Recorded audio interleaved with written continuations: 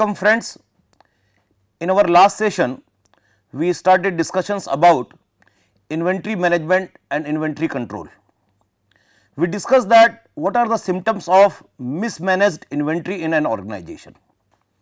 If your organization is small or maybe medium sized, lot of intuitive decisions are possible with respect to inventory management.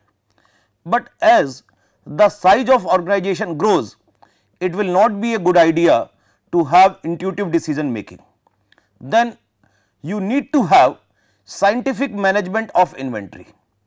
And when we talk of scientific management of inventory, the two important questions which we discussed in our last session that how much to order and when to order we need to know. If we have a proper schedule of our order quantity and the time of ordering, then we can have an inventory management system which will give us minimum cost of inventory and it will also help us in avoiding interruptions in our production cycle. It will avoid overstocking of the inventory material. It will avoid stockouts of our material. So, the objectives which are conflicting objective will simultaneously be satisfied if we have a proper scientific inventory management system. To start the development of scientific management of inventory, we have a basic inventory model and we started discussions on that basic inventory model in our previous session by the name of EOQ model. Now, we will go into the details of that basic EOQ model. If you remember in our last session we discussed that we have a saw teeth pattern of inventory consumption and inventory replenishment. So, we get inventories this is the replenishment of inventory and this is the consumption of inventory. Again replenishment will take place and then you are going to consume this inventory and this is a saw teeth pattern which will emerge for the inventory system in your organization. So, if you have let us say 100 items in your stock, so you will have 100 different types of saw teeth pattern for those items.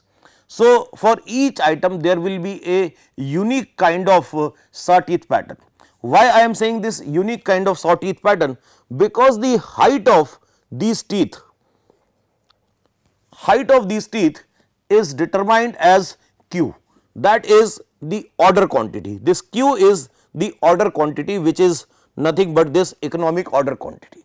Now, if I reduce the value of Q, the height of our teeth will also reduce.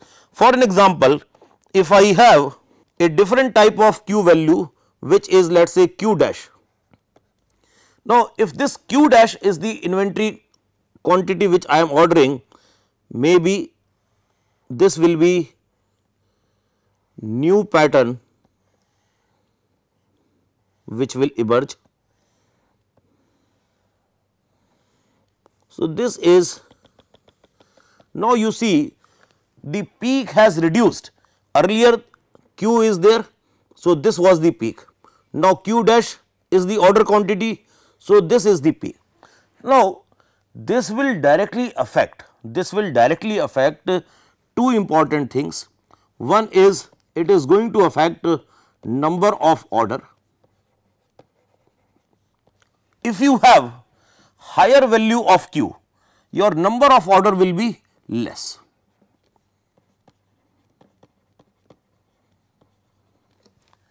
The second important thing is average inventory in your stock.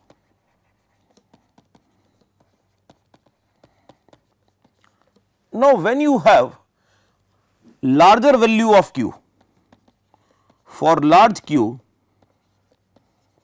the average inventory will also be high.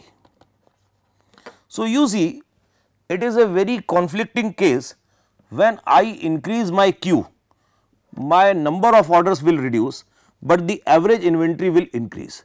When I reduce Q, my number of order will increase, but the average inventory will reduce. So, that is we want to balance in our basic EOQ model. Now, when we are applying this basic EOQ model, there are certain assumptions which we need to know. So, what are these assumptions which are very much necessary for application of this basic EOQ model. Now, again let me have this saw teeth pattern here and this will help us in understanding these assumptions. Now, average demand is continuous and constant this is assumption number 1. So, what I am trying to say that uh, the slope of these lines, slope of these consumption lines is constant and it is continuous. So, you have the same rate of consumption for the entire period. Let us say for what I want to say 10 units per day. So, this is my rate of consumption. So, this is constant and it is continuous. So, that is the first assumption that there are no fluctuation in my consumption rate.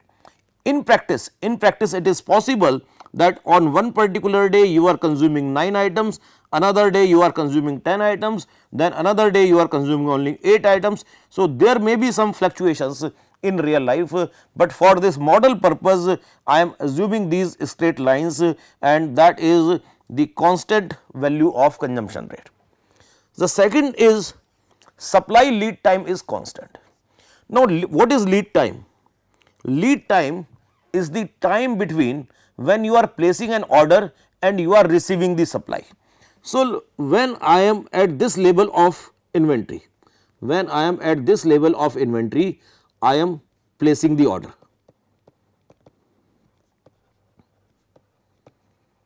And when I am reaching the 0 level, I am receiving the order.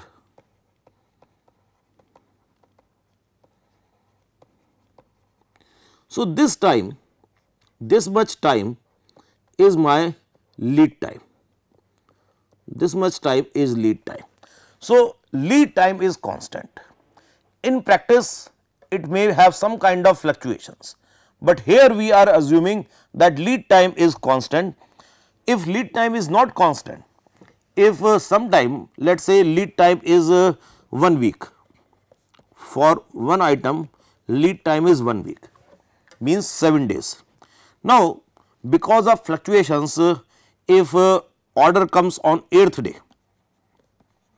So, for one day I will be running out of stock. There will not be any material with me for one day it will disturb my entire production process. Or if inventory comes on 6th day because of early supply. So, this will increase my average inventory level. So, both these cases are not there I am assuming. So, the lead time is constant. Third is independence between inventory items. We are actually having large number of SKUs, number of SKUs are continuously increasing and all the items which I am giving for my stock, they have no interdependence. They all are having independent supply. So, supply of one item is not dependent on supply of other item. So, that is the independence between inventory items. So, there is no interdependence all items are having exclusive supplies. Then fourth is purchase price and the cost parameters are constant. The price of the product which I am purchasing and all other cost parameters and these cost parameters are particularly with respect to two things. One is cost of ordering and another is cost of holding. So, these are the two important cost parameters we consider in our basic EOQ model. So, these two cost parameters are constant.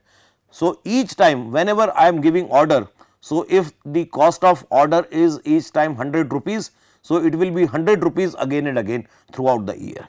If cost of holding one unit for one particular year is 2 rupee, so it is constant throughout the year. So, that is uh, uh, cost parameters and the purchase price that is the material price that is also constant.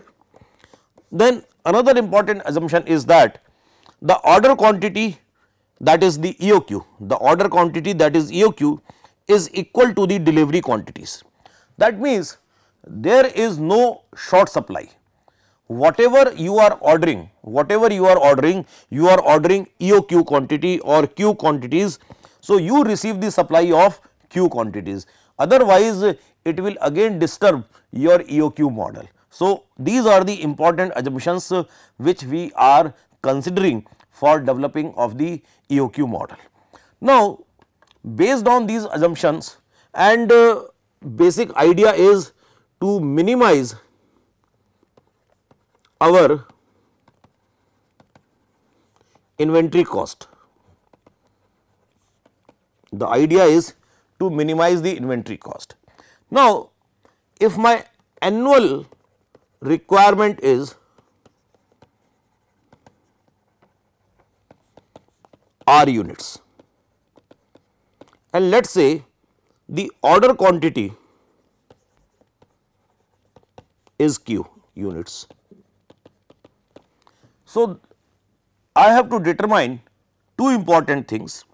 One is when I am having the order quantity of Q. So, this is Q. Now, you can understand that this Q by 2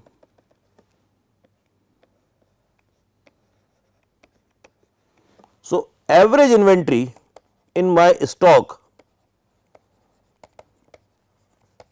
is Q by 2 and number of orders which I need to make in an year will be R by Q. So, every year I will make R by Q number of orders and my average inventory will be Q by 2. Now, I am giving you two cost parameters in our previous slide we discussed when we were discussing the assumptions that cost parameters are constant. So, one of the cost parameter is the ordering cost and the second is carrying cost.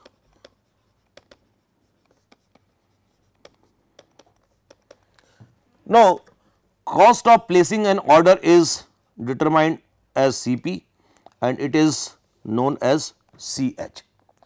So, my overall cost of order total annual order cost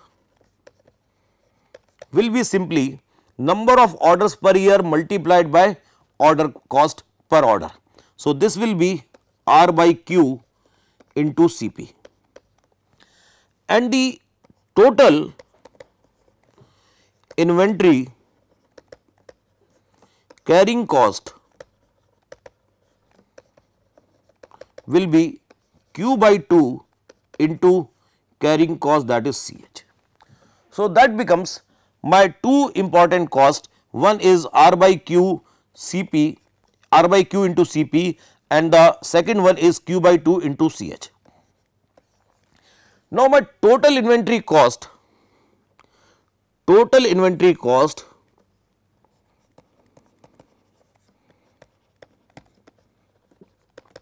will be actually sum of 1 and 2.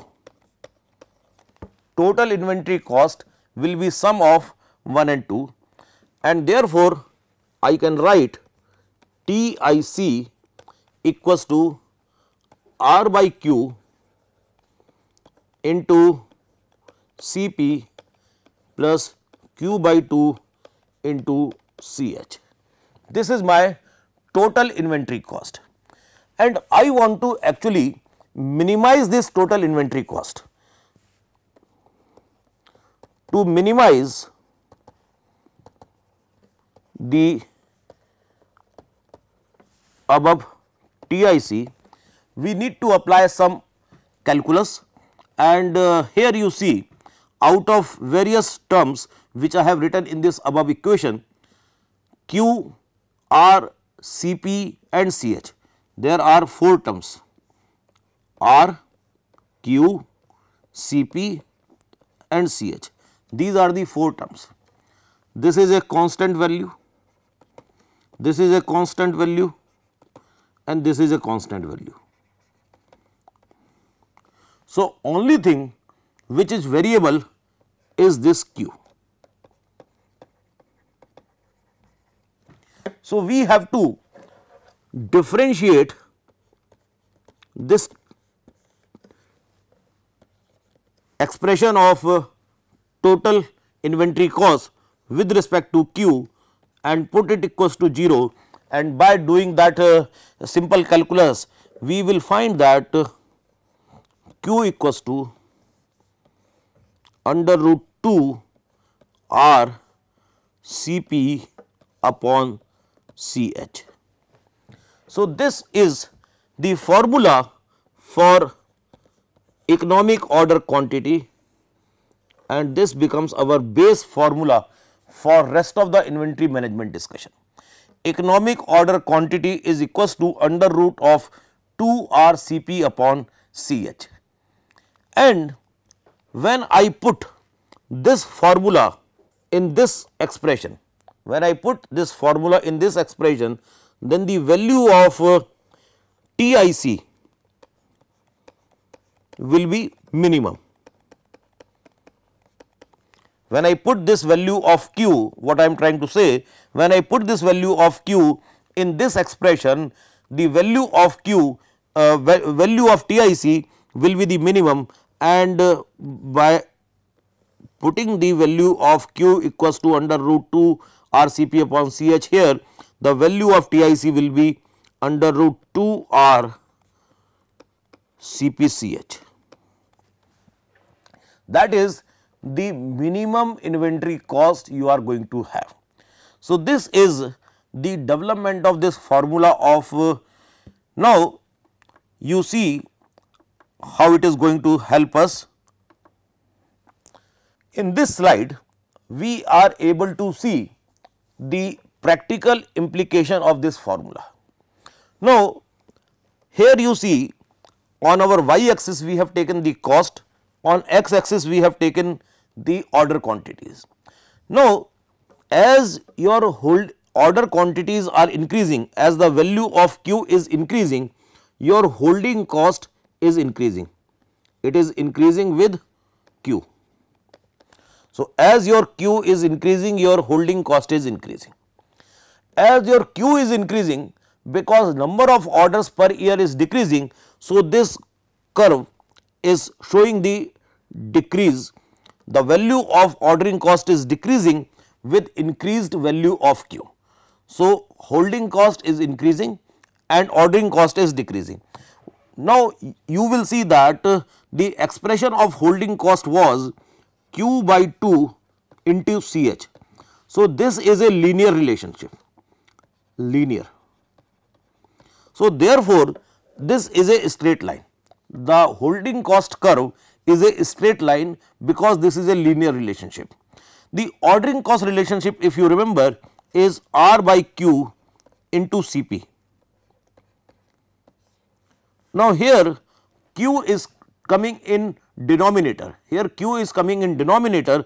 So, this is a non-linear relationship and therefore, you see this curve of ordering cost is not a straight line, it is a slightly curve shape of curve. Now, based on this holding cost and the ordering cost, when I combine these two things, I get this total cost curve. This is actually the sum of holding cost plus ordering cost. So, this is a curve which is combining both these costs. Now, you have seen that uh, this ordering cost and holding cost are intersecting at this particular point and this total cost curve is also coming at its minimum value at the point of this intersection of these two cost curves. So, it gives you a very interesting insight, it gives you a very interesting insight that insight is that at EOQ, at EOQ your holding cost is almost equal to ordering cost. Theoretically it is equal to, but in practically there may be some difference of paisa or cents, but at EOQ holding cost is equal to ordering cost. That is one very important thing which we come to know that both these costs almost become equal at the point of EOQ and that is giving you the total minimum cost of inventory. That is one interesting thing. Second important thing which is uh, going to be there in this formula, we have all uh, we have developed this formula that uh, EOQ equals to under root 2 R Cp upon Ch. Now, in this formula if you see the value of EOQ coming here, this is the value of EOQ which is written as Q optimal or EOQ. Now, you see that this total cost curve, this total cost curve around this value of EOQ is relatively flat. This total cost curve is relatively flat. That means that this formula is a very robust formula. It is not a sensitive formula. Even if you are not going to have the value of EOQ, what I am trying to say that uh, uh, for an example, if by doing some calculation in a particular situation, the EOQ value is coming let us say 2280 and for some practical reasons uh, the actual order quantity is 2200. EOQ is 2280, the actual order quantity for some reason is 2200 which is close to EOQ, but because maybe your truck size is not that much or your warehouse capacity is not that much. So, your order quantity is 2200. So, the formula is so robust that it is not going to drastically change your inventory cost. You see that uh, up to from this point to this point there is not much change in the total inventory cost value. So, this is a very useful practically applicable formula because of its robustness. It is not sensitive. In some time there are uh, some cases where formula are very sensitive immediately as soon as you shift from that particular optimum value the uh, difference or the change will be drastic. So, you have to be very particular about the uh, optimum value, but here the formula is very robust the curve itself shows you that sensitivity of this uh, particular case that uh, even if you are not at the optimal level, but because uh, the uh, it is very very straight line kind of curve around the EOQ value. So, it is not going to affect much of your uh, inventory cost even if you are not ordering EOQ. So, now we have understood the theoretical part of this EOQ formula development. Now, we can see that uh, how this formula was developed. So, this is the total cost in this total cost this particular part is the part of annual purchase cost which is uh, you see this formula which we have just developed has nothing to do with this purchase cost. We have only considered these two particular parameters. Uh, so, we will see that in our uh, uh numerical examples uh, that if uh, some values are given to us for the price of the product, that price of the product may affect the calculations of the holding cost. This is the CH parameter. So, this CH parameter values may be affected. Sometime you will see in the numerical examples values of CH are given as part of percentage of the material price and sometime the values of CH are given in terms of absolute units. So, both the cases we will do and uh, that will help us in understanding whether the purchase price has some meaning in the uh, EOQ model or not.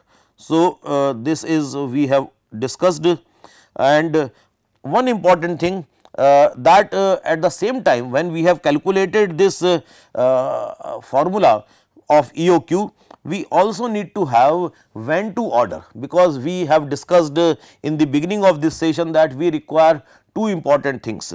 One is uh, how much. So, this how much has come in the form of uh, EOQ. This is our EOQ under 2 R Cp upon Ch. So, this is our EOQ calculation. Now, when to order?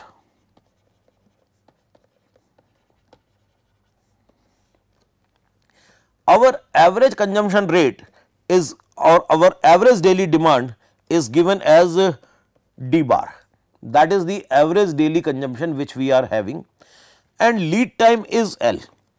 So, our reorder point when should we order that will be during lead time how much you are going to consume. So, let us say if my average daily demand is uh, 10 units and lead time is 5 day. So, my reorder point will be 10 into 5 50 units.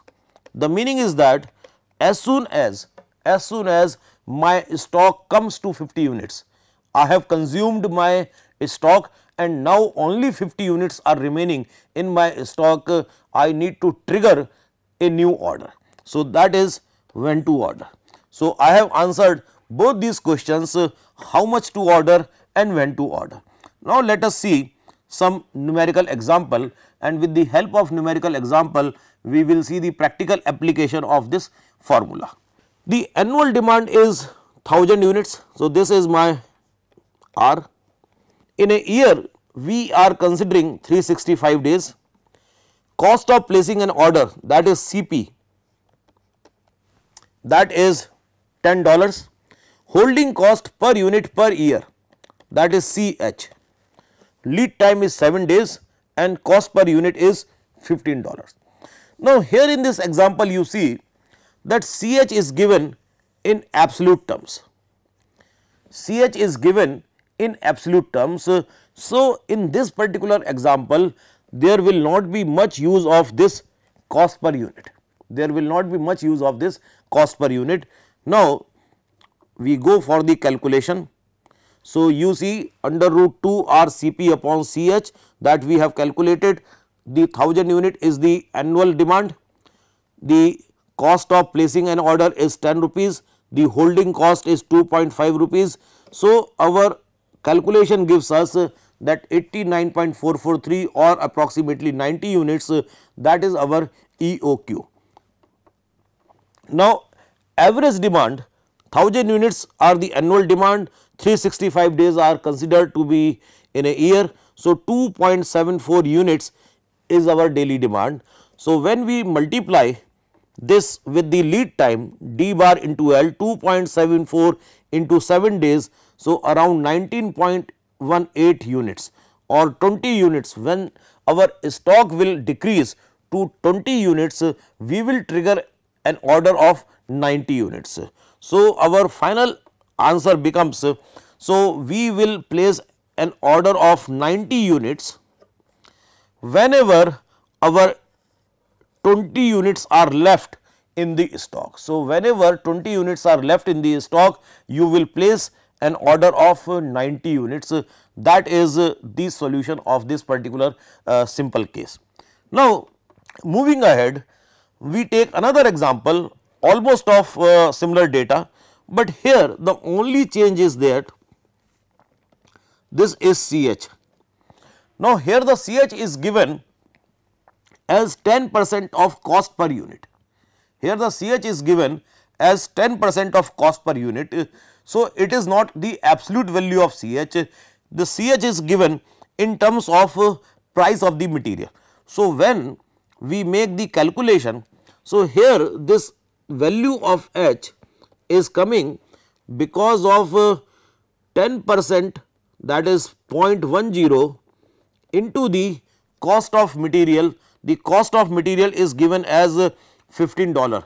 So, here we have taken 0.10 into 15 and that is given us uh, 1.50 and therefore, this calculation has resulted into 366 units. Earlier case because it was a fixed value of 2.50 dollar per year. So, that was 90 units now it is 366 units. Rest whole issue will remain as it is. So, here 10,000 units uh, divided by 365 our 27 units almost per day is the consumption and the lead time is given as 10 days. So, 27 into 10 days that becomes uh, 274 units. So, whenever our stock comes to 274 unit, whenever stock drops to 274 units, it is like this way. Whenever you are giving order, it is of 366 units, you have started using these units. So, now somewhere here the stock will come to 274 units. So, you will trigger a new order, you will trigger a new order and this new order will come because uh, it will take 10 days. So, this is 10 days period which is the lead time and after that again your supply will reach to 366 because full supply will come to you and that way again when it reaches to 274 you will trigger a new order. So, that is how saw teeth pattern will go on. So, this is the application of basic EOQ model for the inventory management. In our coming lectures, we will see more variations of this basic EOQ model that how different types of models are available which are based on this basic EOQ model. For this lecture, thank you very much.